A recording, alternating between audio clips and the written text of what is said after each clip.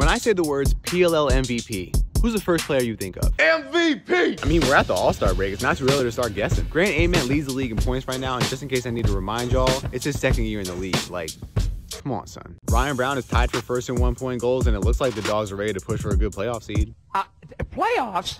Blaze, Galloway, and Ghitelman are all sitting at above 60% in net. TD leads the league in ground balls and faceoff percentage as a rookie. And if the Woods win it all, book it. He's MVP. The Bulls don't have any category leaders right now, but have you seen Jeff Teat play? Oh, he's good. He's good. Let the Bulls win it all and see if Jeff Teat don't win MVP. My dude is shooting 47% this year, just something very light for the rookie. So go ahead and hit those comments and tell us who you think is going to win PLL MVP this year.